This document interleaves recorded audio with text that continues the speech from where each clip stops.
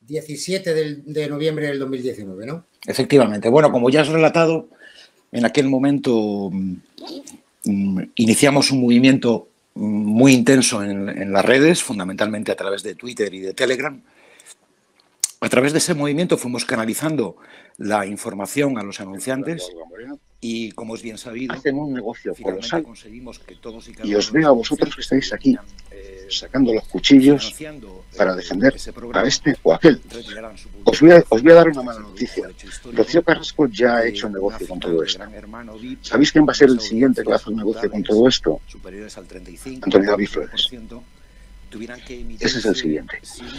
Y, bueno, y, yo, es que, eh, no, es que lo diga, yo no soy futurólogo, es decir, Antonio David Flores ha estado toda su vida viviendo de esta historia, al final no ha estado viviendo de ningún trabajo, eso no es un trabajo, no os dejéis engañar, pero ¿quién ha dicho que ir a hablar de lo que pasa en tu casa es un trabajo? ¿Quién ha dicho eso? ¿Por qué os creéis ese tipo de tonterías? ¿No? Es que si, ir a insultar a tu mujer no es un trabajo. No es un trabajo, en absoluto. No, hacer un reportaje fotográfico con un niño llorando cuando la madre está casándose, eso no es un trabajo, eso es una inmundicia. Lo tenéis que entender como tal. Si a vosotros os entretiene, pues oye, pues estupendo. Os, os dejo con entretenimiento, pero desde luego eso no es un trabajo.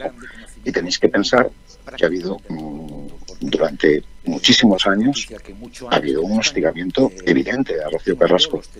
Evidente, tengan o tengan razón. Evidente. Y que si dejamos que, eso, esto lo sigan haciendo, cuando acaben con este hueso cogerán otro.